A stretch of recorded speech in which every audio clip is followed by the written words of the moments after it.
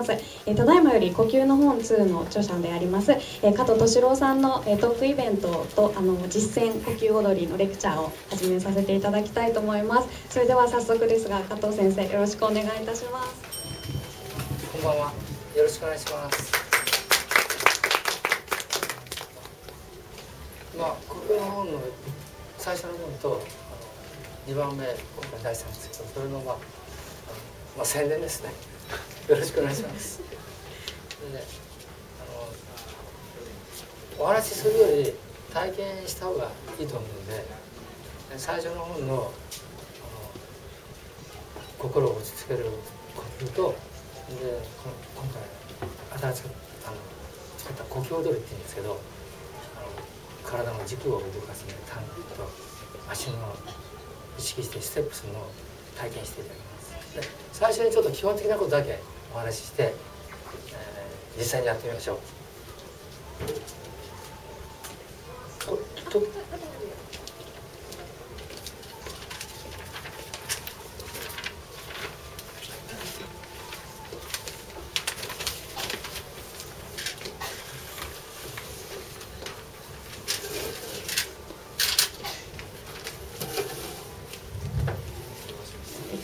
あそこで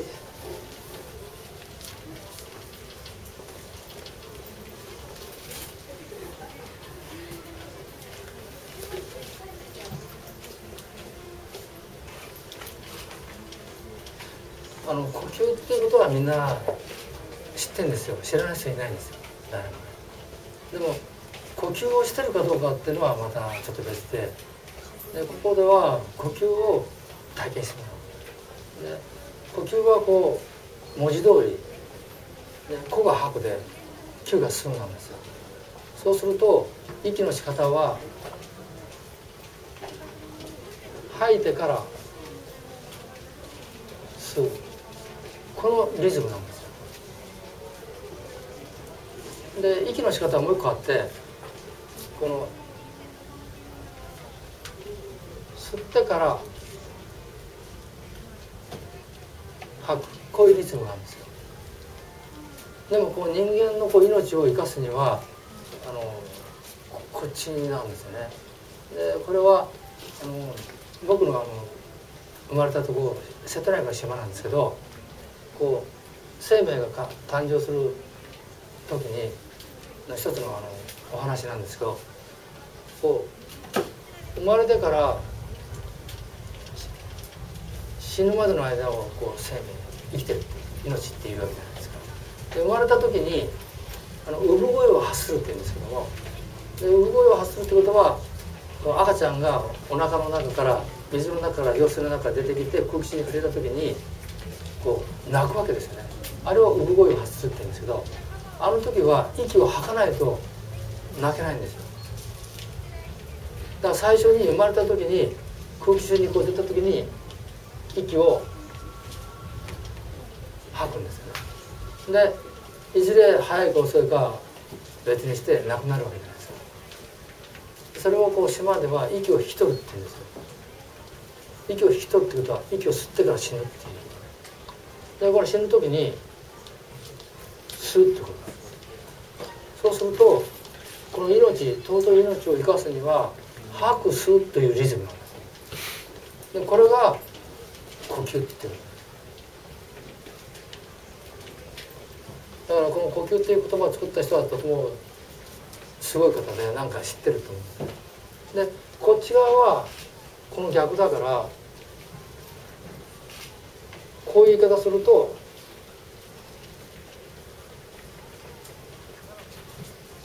9個なるわけでも人が息するのを9個してますかとは言わないわけそうすると息の仕方は吐いてから吸うこの呼吸がこれしかないでストレスがかかると100%これだからね。胸がこう詰まってくるわけじゃないですか。重くなったり。こっちは胸が主導権にいるんです。こっちは腹だお腹。で最初の本はこのお腹で息を吐くあの呼吸法、まあ、CD がついてるんですけど。それをじゃあ今からちょっとね体験してもらうんですけどやり方をね簡単なやり方をちょっと言って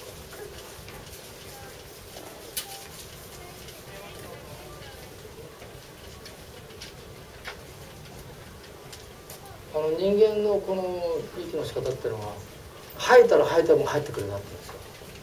そうするとここでは吐くだけ。吐くんですよ。でどこで吐くかやったらお腹。腹を使った。でやり方は吐く時お腹をへこまして吐いたら力。吐く時お腹をへこまして吐いたら力ただそれだけなんですけどもなかなかこれが難しい、まあ、やってみれば分かるけどなぜ吐く時お腹を意識してへこます。で力抜く。この練習。でお腹で吐けるなったらこう丹田っていうとこあるんですよ。丹田っていうのはおさおへそから約9センチ下。ここがお腹の中心であり体の軸なんですよ。ここを掴んで息を吐く練習でもう一つ大事なことがあって気持ちよく吐く。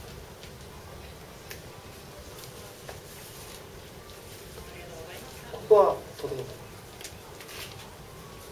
でここでやる呼吸っていうのはこういう「気」という字が出たんだけどあの気のスパイ僕気の専門だからそっち側の人間なんだけどでもまああんまり気のことは言わないけどちょっと今ここ出たからね。あの気の話っていくと息を吐くことを呼気っていうんです。息を吸うことを吸気っていうんです。でこの気を分量を閉じれて体の中に巡らして出すっていうのが呼吸の極意なんです。でインドではこれプラナっていうんです。で中国ではチって日本では気っていうんだけど国によって呼び方は違うんですけど意味は一緒。これエネルギー。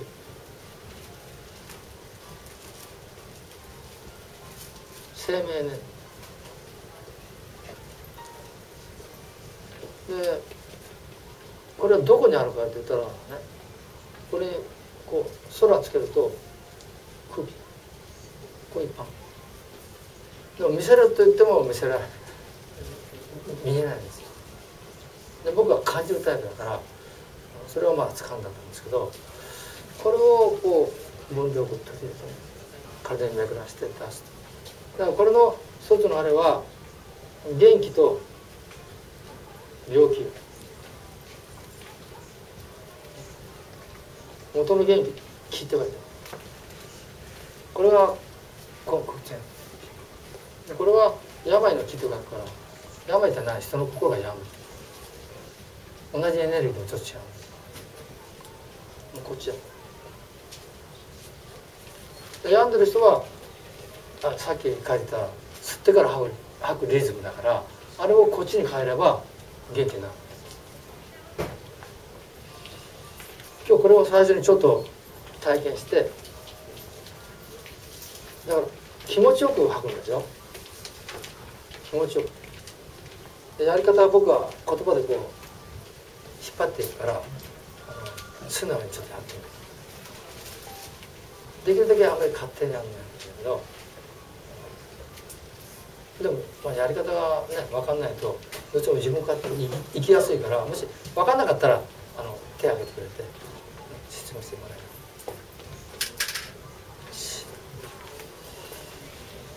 じゃあちょっと軽くやってみますか。ね。で呼吸する時ねあの姿勢がすごい大事なんですよ。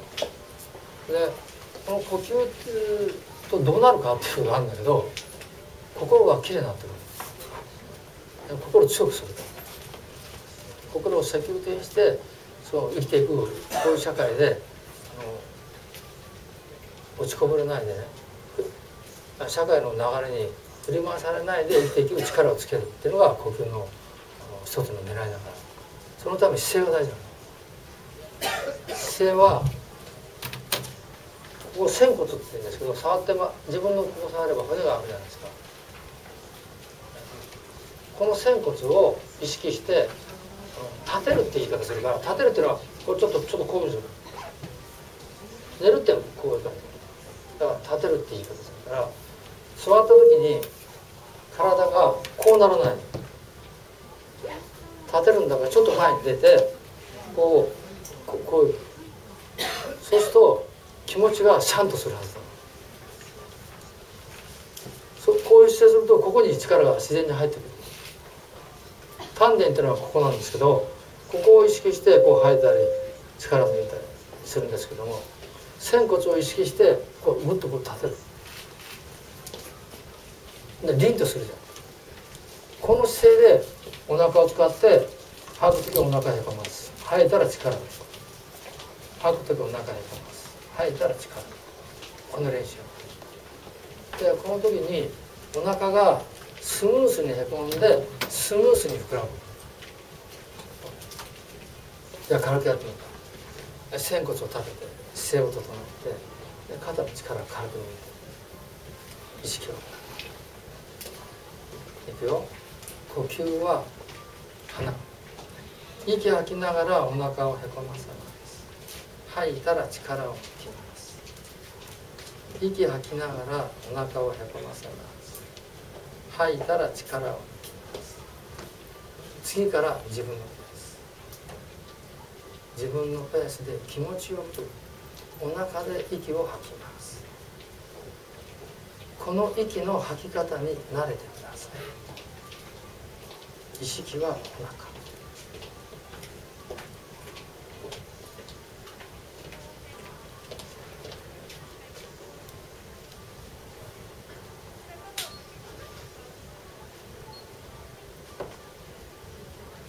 吐く時にお腹をへこませます。吐いたら力を抜きます。ただそれだお腹を使って息を吐く。この息の吐き方に慣れてください意識はお腹気持ちよく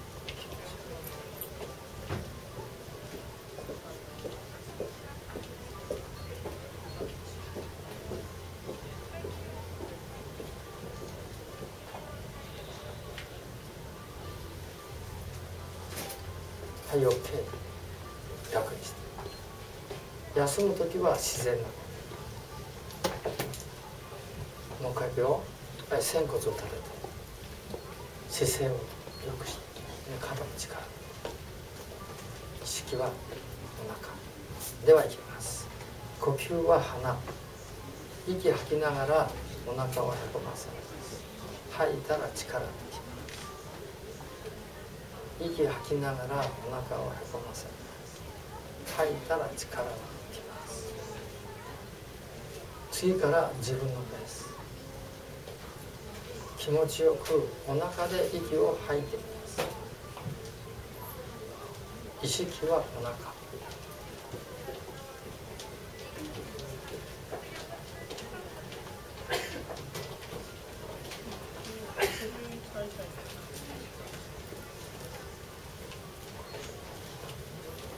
お腹の動きはスムースにお腹がへこんでスムースに膨らみます。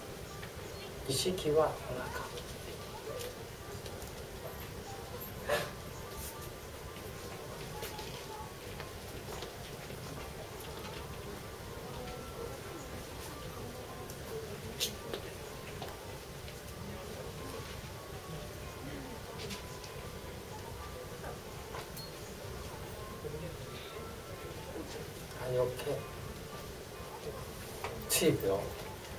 今度はやり方は一緒なんだけど今度はこの丹田だ丹田の場所はおへそから約9センチ下。大体でいいから。下っ腹だね。そこを意識する。だから気持ちを切り替えないはい、自分の意識を、はい、丹田に集中します。気持ちを丹田に集中したまま丹田で吐くいくよはい呼吸は鼻。息吐きながら丹田を後ろに引き寄せます。吐いたら力を抜きます。息吐きながら丹田を後ろに引き寄せます。吐いたら力を抜きます。次から自分のペース。気持ちよく丹田で息を吐いてください。意識は丹田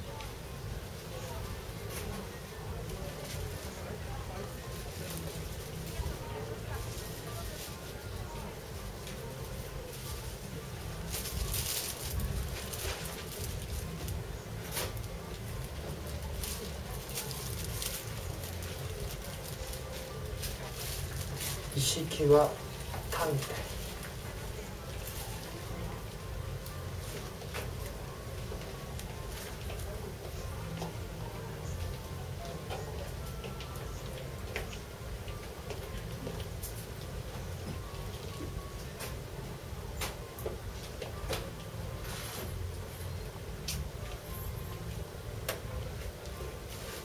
よし OK 楽にして休む時は自然な呼吸で意識は丹田丹田から気持ちを離さ丹田っていうのはおへそからちょっと大きすぎるけどね。目安としてこういうのがここにあるもう一回から。慣れるんだよ。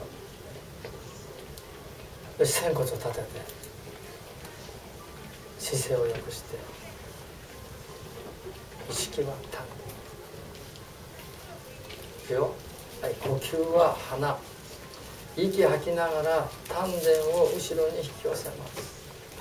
吐いたら力を抜きます。息吐きながら丹田を後ろに引き寄せます。吐いたら力を抜きます。次から自分のペース。丹田で気持ちよく息を吐いてください。意識は丹田。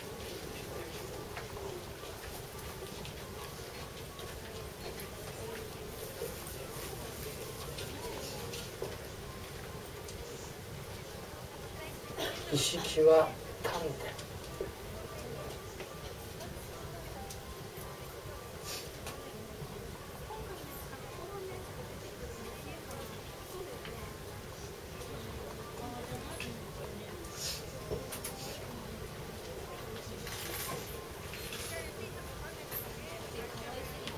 よし OK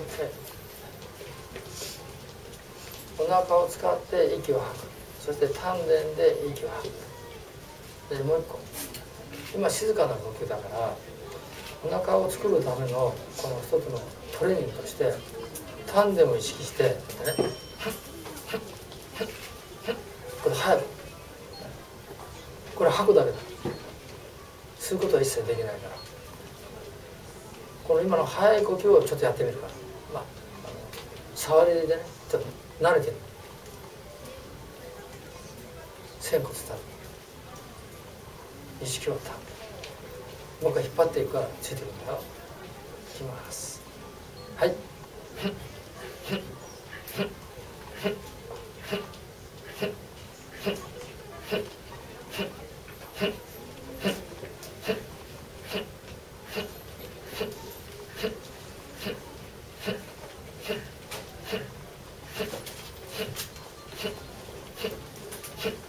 OK 楽にして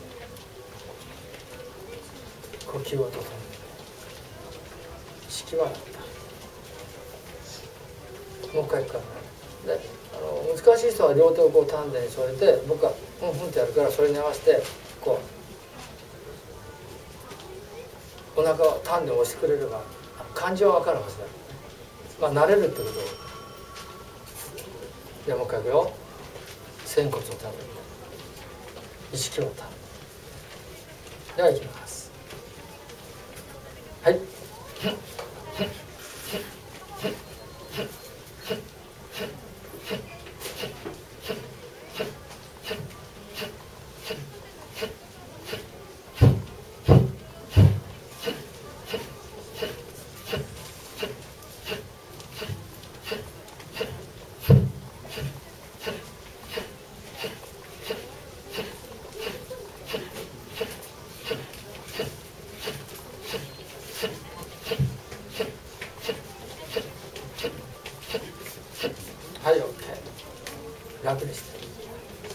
これは基本でねあのまだ他にこう鼻で今の俳句であるんだけどあの今日は2の宣伝だから1はこういうのだよってことであのもう一個あってあのまあパンでも意識して息が吐けるってことは何かったら肝玉作るんです。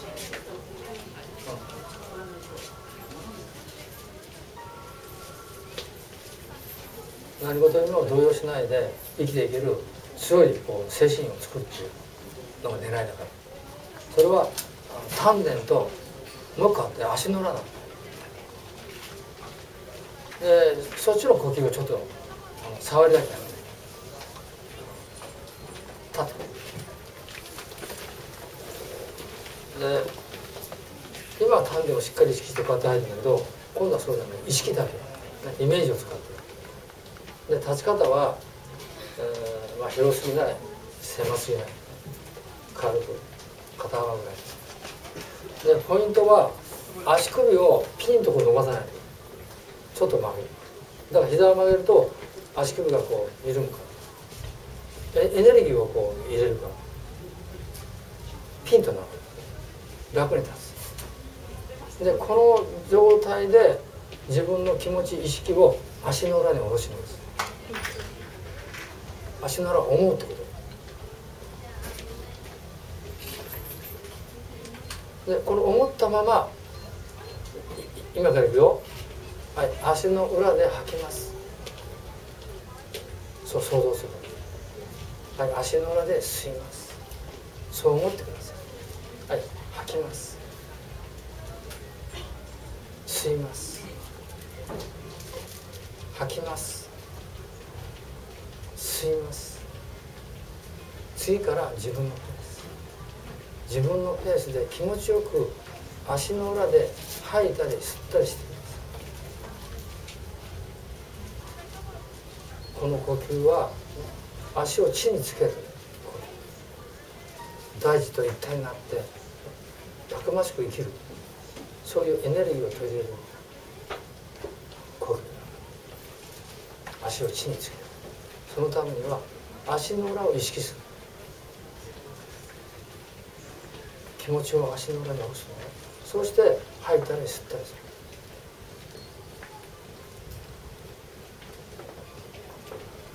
る。この息の仕方にもなれる。なれるんだ。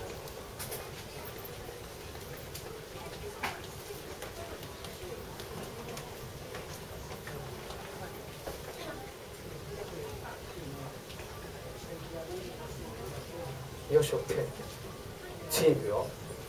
今度は吐く時足の裏から地球の中心に向けて吐いていきます吸う時は地球の中心から足の裏に吸うそう思ってくださいではいきますまず吐きます足の裏から吐きます地球の中心に向けて丁寧に吐いてくだ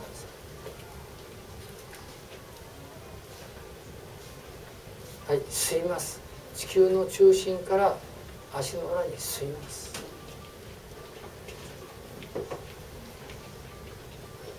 はい吐きます。足の裏から地球の中心に向けて吐きます。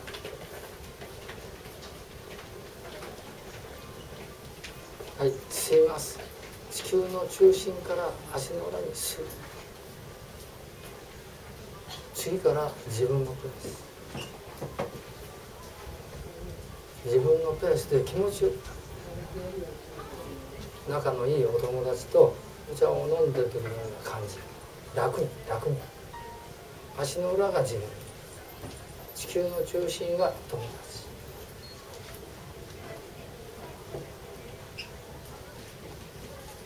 このやり方にもなれます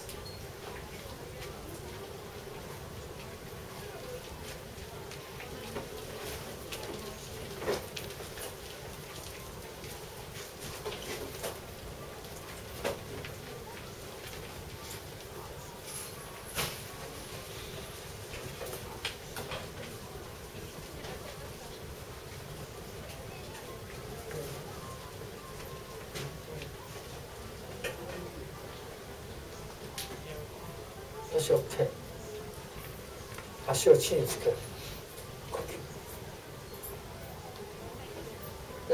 吸足の裏を意識してほしいんだけど足があの最初の時よりピタッとこうついてる感じが出てるはずなん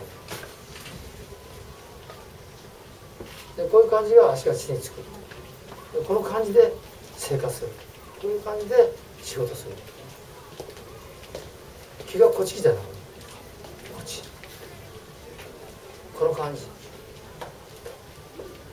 しこれがあの最初の一問で丹田と足の裏ね。で結構こう静かで集中しないといけないから難しいんですよ。あ座ってくれ。でそれをあの2の方はあのお踊りでね、うん、やるようにしてまあ楽しく。だから2の方はあのあそう。2の2に今からね話が出るあこれ。それはあのパワーポイントでこうやるんだけどちょっとこの場所がね、え一応こう作っていただく。コップの方を作っていうのが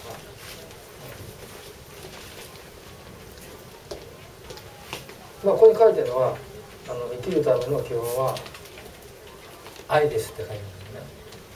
まあこれは言うまでもないんだけど。でその愛をこう愛のエネルギーを引き出すのが一つは呼吸なんですよ。その大元はお母さんの愛情なんだけどそれを通したそのお腹の中にいる栃木東海の時のエネルギー。そのことをここに書いてるんですけども愛っていうのはそういう意味なんですよ。で強く生きるにはへそのを通してお母さんからいただいた愛情豊かなエネルギーが必要なんです誰でもお母さんから生まれてきてるこれすごい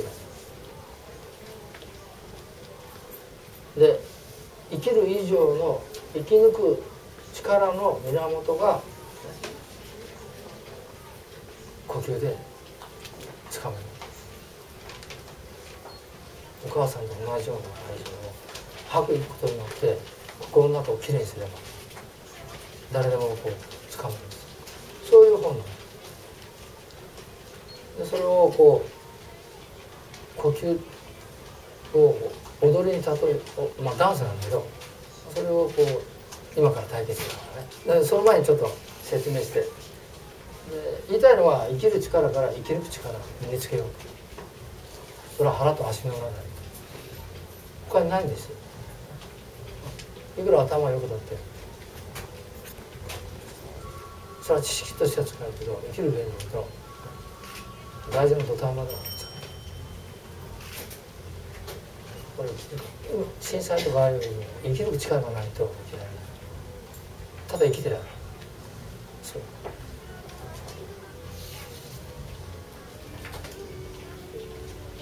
まあこれは国語の本の呼吸法の文と2のことを言ってるんだけどまあ最初は呼吸は誰でも知ってるわけじゃない呼吸のことはね。で息の吐き方は吐いてから吸う文字通りの字のことこの呼吸吐いてる。で吸うの方は太鼓のリズムに合わせて丹田を動かす丹田を動かすまあ今今やるから。まあ血行が良くなり丹田を使ってることを感じやすくなるんです。でここは中心であり軸だからここがつかめたら物事の本質がつかめる物事の本質を言ったら見えないところだ。見えるとこは本物は出てこない。それは知ってた方がいい。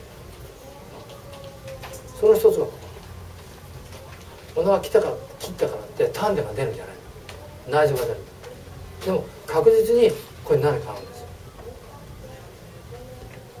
日本人は昔武士が腹切ってお香を切ってたああいう文化はないんだ。その腹の文化の大元のとこを掴むためにさっきみたいに静かとかやるとやっぱり難しいんですよ。難しいから楽にやる分を作ったのが呼吸太鼓の音に合わせて、まあ、楽しくやればいいそういう。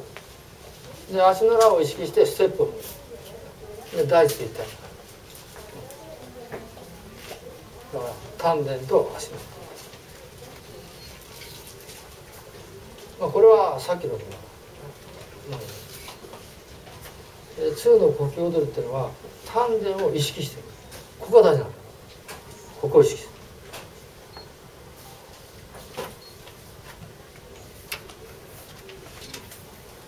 ここ。ずっと意識したままやるの。意識を離して意識ってエネルギーだ。自分の気持ちをここに置いたまま。こっちだな。こっちをこっち。で足の裏を意識する。心のエネルギーである意識を使ってさっきのこう足の裏を思えばいい思いながらこう踊るだけ分かるじっとしてんだここは一と。違う意識して動かすとやり方はまあ今日の場合は僕僕本の中に DVD 入ってる。みんなこれ一緒に楽しく踊る。楽しいっていうのはキーワードであの太鼓のリズムに合わせようとすると意識がそっちに行っちゃうから最初はもう太鼓のリズムをほっとけば構わない。自分であの勝手にやればいい。でも大事なことは何か言ったら自分が丹田を動かす時は丹田を意識する。足の裏でステップをする時は足の裏を意識する。ここが大事な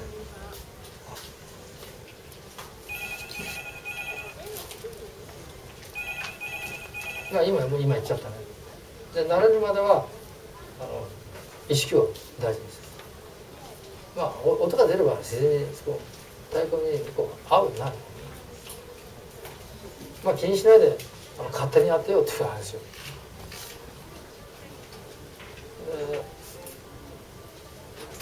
一番は楽しむ楽しむで楽しいっていうのは体が喜んでる。細胞が喜ぶ感覚が出るんですまあ、気が分かる人はすぐ分かる分かんない人はまあしょうがない。でもう一個は継続する。食べ物はもう毎日みんな食べなくても食べるわけなんですけどでも呼吸を練習するってあまりしない。でも食べ物食べなくても1週間10日生きてられる呼吸は10分と思ったら死んじゃうんだから。じゃあどっちが大事かってお前も食って人生変わらないよでも息の仕方が変わると人生変わるそれは腹と足の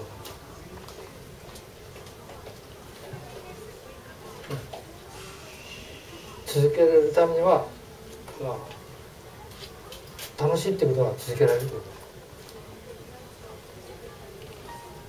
太鼓の音を聞けば何となく体が動くようになる。と思いますけど、えー、まあ効果としては腹肝玉つく肝玉東京物事に動じなくこういう不安定な要素の多い社会の時にやっぱり腹がすまんないで大地と一体になって大地のこう命のこう恵みっていうかエネルギーが来る。それと一体になって生きてるし。そうすると不安というとか心配とかその恐れとかそういうような要素はどっか行っちゃう。安心と自分を信じる力自信。で感謝の気持ちとか。そういう世界で生きてるよしじゃあやってみますか。でやり方は、うん、ああともうないね。はい。えー、っとね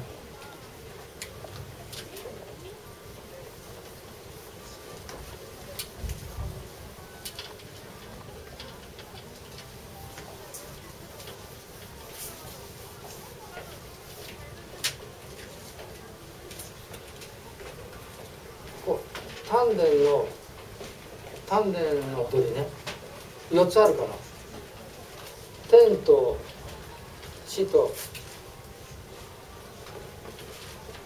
空と海これは丹田を右左ここを意識してこう右左ってまあ今やるこれは丹田を前に後ろ待って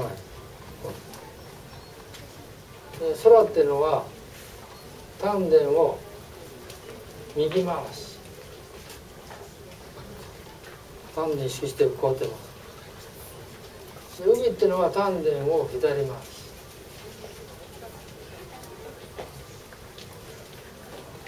これ4つやる。で丹田でしょ。で今度は足の裏。足のステップ。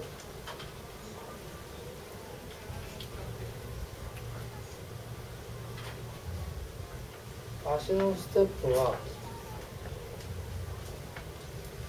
太陽。地球月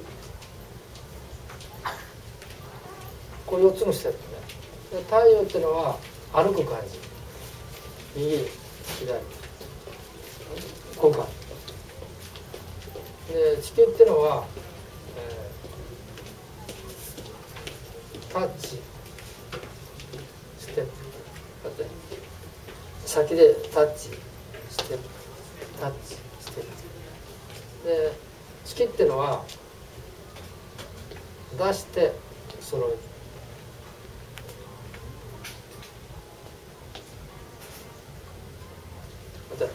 出してそれる出してそれる星っていうのはかかと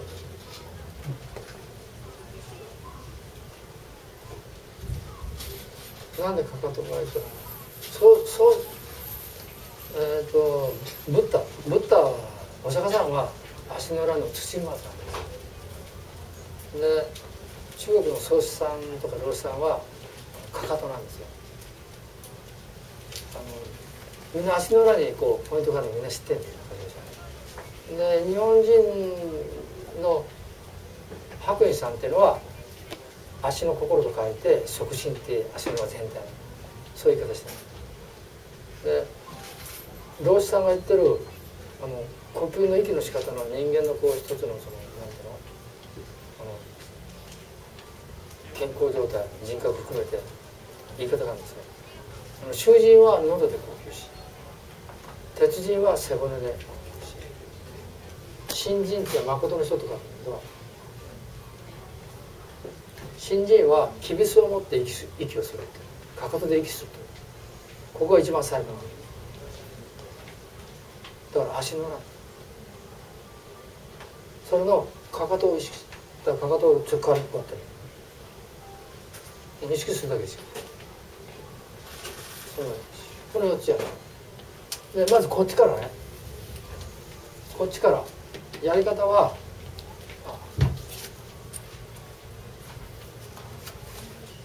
あれ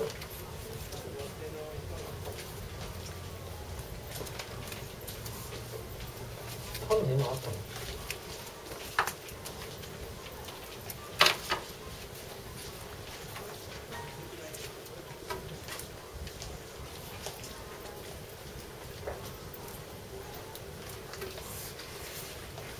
だいたいこんなんでおへそから9センチここを意識して軽く腰をここ下ろす軽く下ろした状態で丹田を意識して右左だから右にこう戻してこう右左右左とはそうだからこれを太鼓の音に合わせてやるからあちょっと一緒にやってください立ってもらいます。丹田を意識してで軽く腰を下ろして。いくよ。丹田を右戻して左。戻して右。戻して左。戻して右。戻して左。戻して左こういう動きだからちょっとこうもうちょっとリズムから言ってください丹田を意識して口を下ろすよ、はい、右左右左右左右左うんいい感じそうそういう感じこういう感じですね OK これは1個、はい、そんな難しくないでしょ？これ太鼓の音が鳴るともっとやる気になるから。もう今はちょっと、ね、白腕やってるから。横地だって照れ照れながらやってるんですから。ね俺こんなとこやったことないから。って人がいるんだから。普通はもうこうもっとね浅い体とか大くらいことやるんだから。結構最初これ切ってもう実際に音出したらね汗かいちゃってさ。でもしょうがない。約束しちゃったから。帰るわけにいかないから、まあしょうがないんだよ。仕事だから。よし。これね。チってね。あであのきのこ屋さんな天下のきのこ屋さんだから。俺もあんまりよくわかんないけど有名なところみたいな。よろしくお願いします。私たちもちゃんとしっかりやります、よろしくお願いします。よし。でもこれいいからね。ぜひ一緒にやって。いやあの恥ずかしくないです。ちゃんと真面目にやりますから大丈夫です。でも家ではできないですよこれ。まあ仕事だからね。よし。次ね。このちちね。腰をこう軽く下ろして。丹田意識してねいくよこう前に戻して後ろ前後ろ。前。後ろ。前。後ろ。前。後ろ。丹田を意識するんだよこう。これが大事なんだよ。よし OK あのどうしても腰でやりたがるんだよ。でもそれを横に置いてここ、ここはあのここっちのエネルギー気がね出たり入ったりする集散場所なんですごくこうエネルギーのそのたまるところなんですだからここをしっかりと意識するここから自分の気持ち心の意識を離しちゃダメなんだよここにしっかりそれがものすごくだじゃあもう一回いくからいくよ丹田を意識して軽くこうきます。はい丹田を前。後ろ。前。後ろ。前。後ろ。前。後ろ。前。後ろ。丹田丹田こういう感じそんな難しくないですよ。OK 次。空丹田を意識して、右回しだから。条件は全部一緒。丹田を意識して軽く腰を下ろすで丹田をして右回し。右回し。そうそうそう。右にこう。丹田でこう円を描く感じ。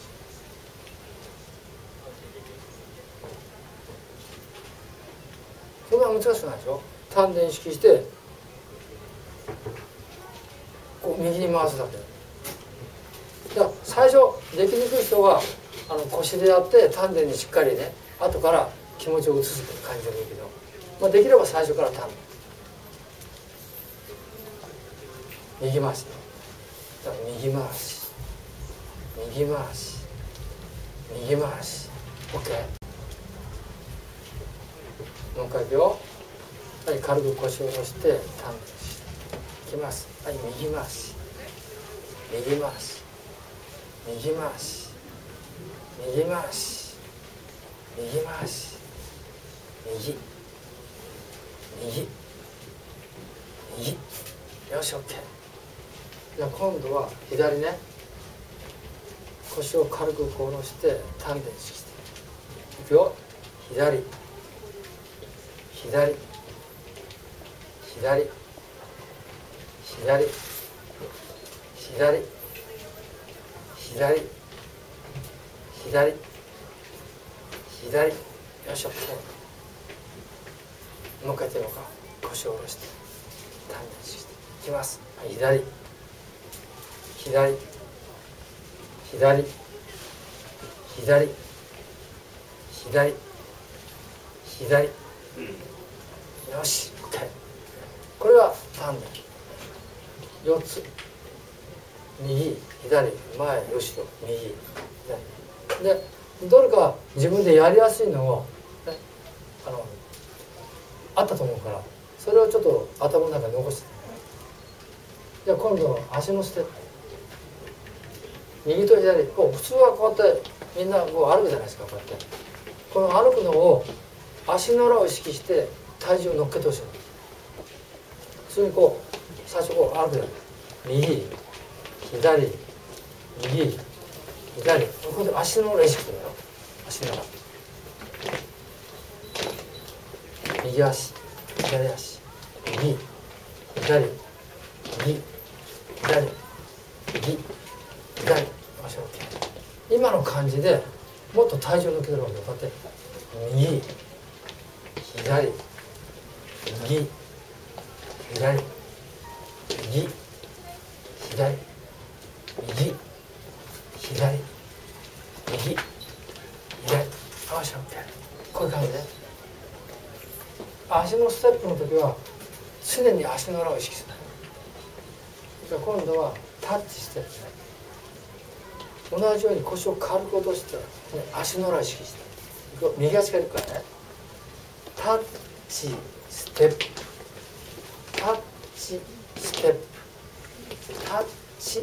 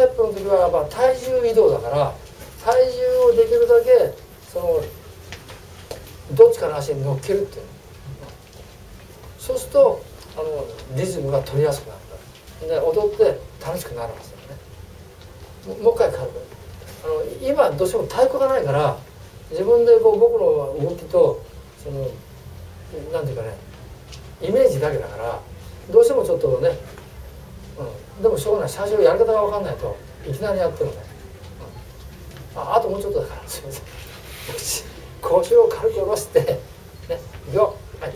出してそれ出してそれ出してそれ出してそれ出してそれ出してそれよし OK、うん、いい感じなで今度はかかと。これはちょっとゆっくりだと体重移動する時にこうふらつくかもわからないから自分で調整しながらね。かかと意識すればいいだけだからかかとを意識してこうやってかかとかかとかかとかかとかかとかかとかかとかかとこういう感じよ。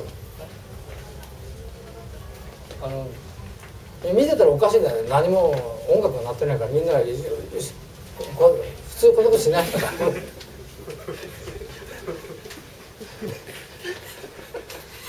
からそこ指摘されたら恥ずかしくなって。いや見ててこっちもおかしい。なえすいませんもう一回やるから。であのやっぱゆっくりだからややりづらいのよ。逆にゆっくりだから。でも説明しないといけないからもう一回いくよ。軽く腰を下ろしてかかと意識するんだよ。はい。かかと。かかと。かかと。かかと。かかと。かかと。かかと。かかと。よし OK まあこれ難しいからね。あのでも慣れれば簡単だからでこっち側をどれか自分のやりやすい分今ちょっとあこれは良かったなっていうのもちょっと一つか二つ決めて。後で役に立つから。よし。じゃああの実際に音楽を流したら音楽はあの太鼓のリズムはアフリカの太鼓だからね、うん、日本の太鼓じゃないんだからね。だから乗りやすくなるはず乗りやすいから絶対。でも大事なことはあの丹田を意識する。足の裏を意識する。で両方いっぺんにはできないから、ね、どっちかまあ最初こっちやるからで次これやるからで最後自由にやる時は自分で決めてやるんだよ。じゃあちょっと軽くやってみよう。これね。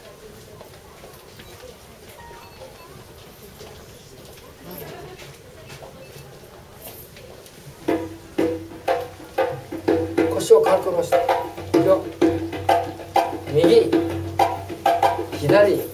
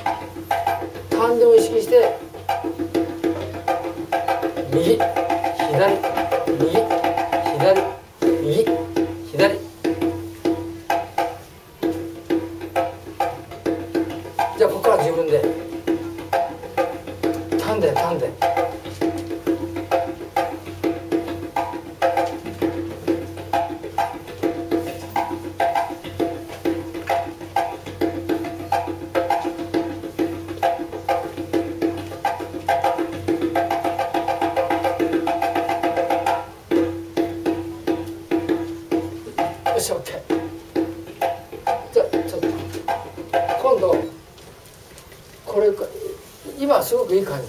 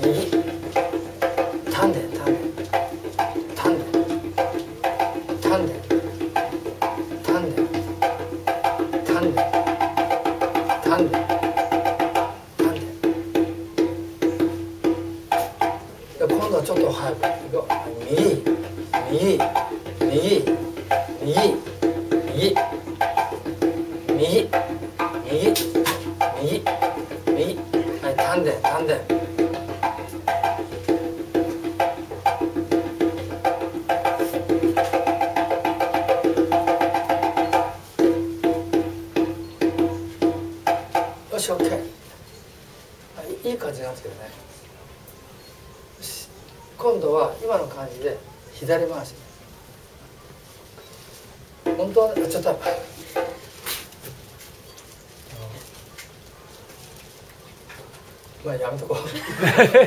いやいやいやどうぞどうぞ。自然にやって。楽しくなってきましこれね明るいと人が見えちゃうね 暗い方がやりやすいですねここに手が出てると私は恥ずかしさ消えますいや本当にあの見てる人は何やってるか分かってないで見てらっしゃるからでもおかしいなと思ってるいや手が出てれば私大丈夫ですちょっと私の方法皆さんじゃああの皆さん手を当ててみてくださいあの自分であのややらしい感じねねあの今ちょっと僕が言葉で言ってるけどこの後はあの自由にやってもらうから、うん、だからあのその時にまあ明るいとこうと思っちゃうもんね。あはいはいはいはい。ちょっと暗くすることができないので、はい。やちょっとあの言ってみたいから。どうぞどうぞだからあの皆さんここでねやられたらあとどこでも行ってる。ねここのこのことを知っただけでも違うから、うん。うん、これ絶対だからあのだからあともうちょっとだからしっかりね えーと今今どこまで行ったんだっけ？ここれやった？いや今あよしこう左回しね。よし行こう。腰下ろして。単独いくよ。はい左。左。左。左。左。左丹田丹田手をこう当てるとやりやすいな。確かにでも僕は笑うとこじゃないですよ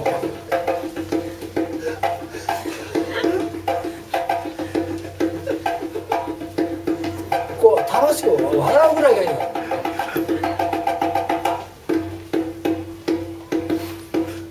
よし OK あの終わり方もいい。じゃんトントントンとね。よし。今のがターンで。今度は足のステップね。よしお願いします。腰を軽く下ろしていくよ右左右左右左。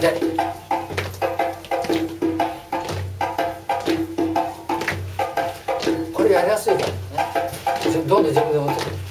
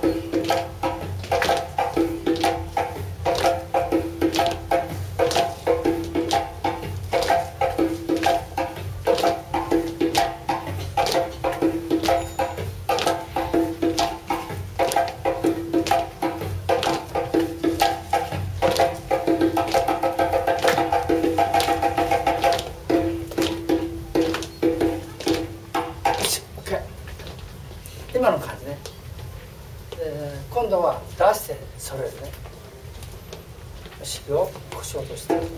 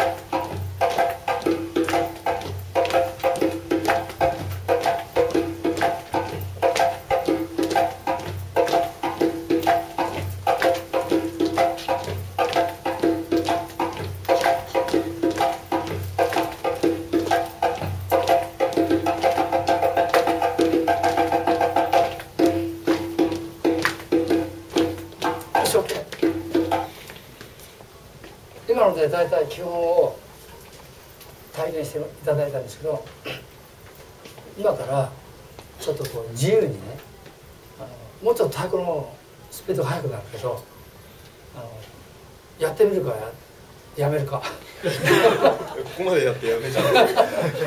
よしやります。先生これあの一つ質問で、ん。はここは鼻でずっと呼吸してればいいんでしたっけ？いやこれは自由。自然なこあと自然でいいんですね。意識しなくて息の方は、うん息の方はやるとわ分かんなくなるもう本当はあるんですか？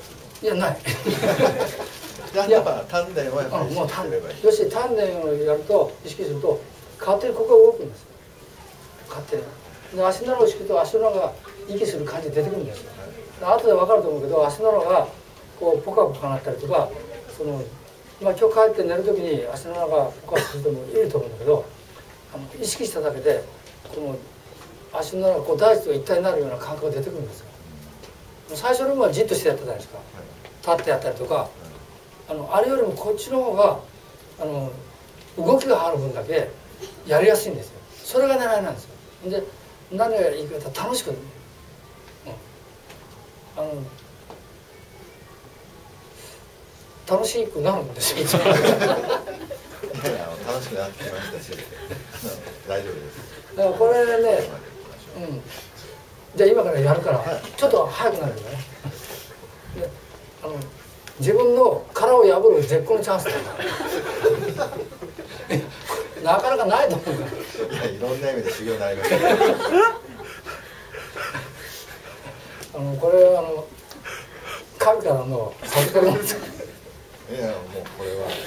ぜひ。であのまあ一人一人が自分らしく輝いて生きてもらうための思いを込むというのは間違いないから、うん。だからあの次の自由な分でもし殻が破けて弾けたらうん行くかわかんない。ね、うん。何人もこう変わってる人いるから。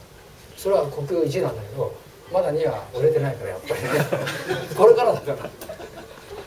うんいや日にちがまだ出たばっかりだからそのために宣伝に来たんだ。よでで1と2の違いはあの谷川俊太郎がいなくなっちゃった ちょっと俺も困っちゃって。でもしょうがないよ、うん、出稼ぎに行かない。とでもいいのは間違いないから。それは分かってるから。で谷川さんもあの中に本の中には出てくるから。本の中にはね。本当は全部一緒にやる予定だったんだけどいろいろ事情があって。よ しよしじゃああの実際にねちょっと音楽速くなるからね。自分で楽しむんだよ。ここれ8種類全部組いやみ合わせて。ぜだからこの中の好きなの。好きなのやればいい。これもう自由だから。はい。全部やろうとする人は欲が深いってことだね。まあやってもいいけどでもなんかそのやりやすい。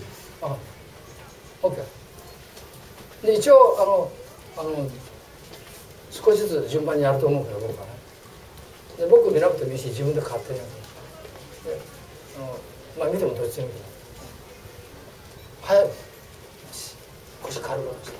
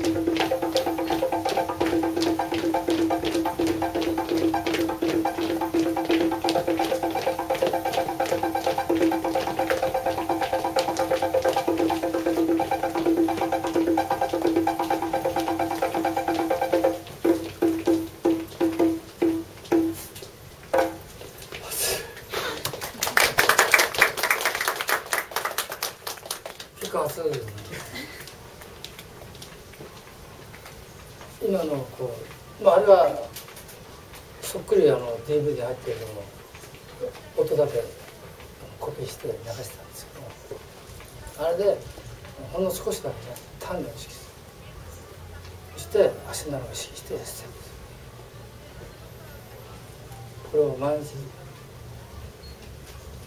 まあ、最大週3回ぐらいやってだから足が地についてくる一番最初に歌って足の裏を意識して足の裏で吐いたり吸ったりああいう感じがつかめるんですよね。そして最後あのこれも当たったもんね僕が3つの言葉言うからね一つは機械丹田機械丹田といったら丹田を意識する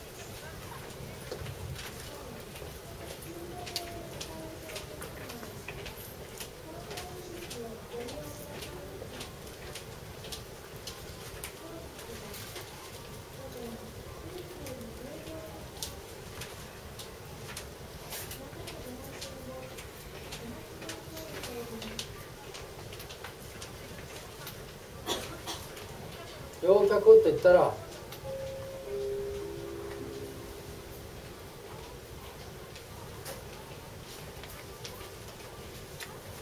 足を意識する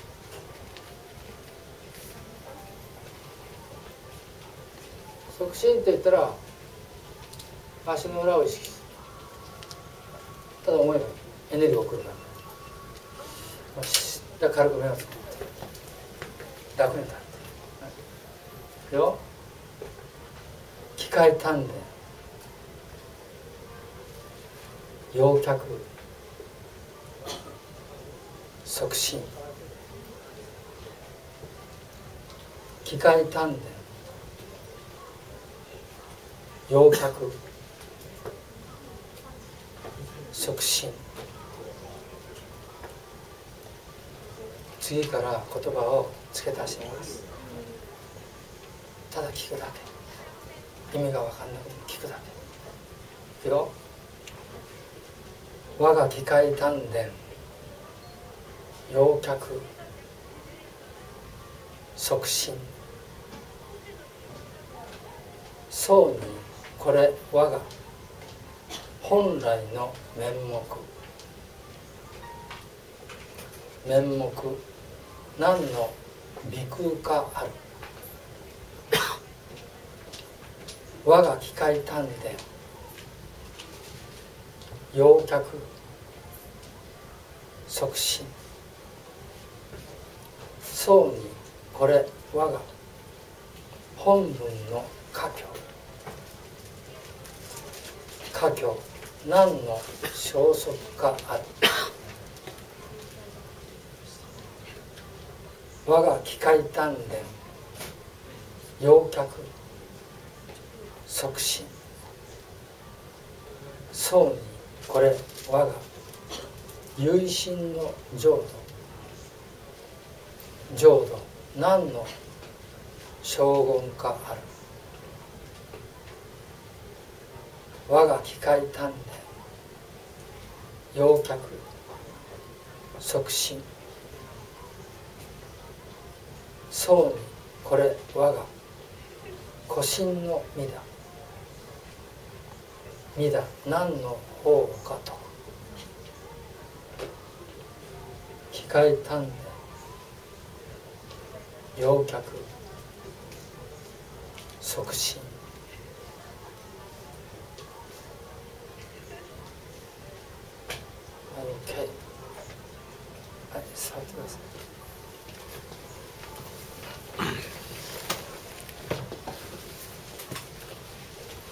今の下半身にこう気を通して一つの内観の表っていう白衣さんがやってたまあ心身を整えるようになるあれも聞くと思う。よし時間が来ちゃったんでまあ今日のこう何かの縁でこう出会ってね参加してくれて本当に感謝してます。で今日の体験の中で、まあ、感じたことね気づいたことを大事にしてください特に気づいたこと書いてメモして続けてください。きっといいことじゃあ今日はここまで。終了ですありがとうございましたありがとうございました。ありがとうございます。はい、えーご紹介いただきました加藤先生の著書ですね「呼吸の本2」呼吸の本もあのご一緒に、えー前の棚の方に置いてありますので、えーぜひ興味持っていただいた方はお買い求めください。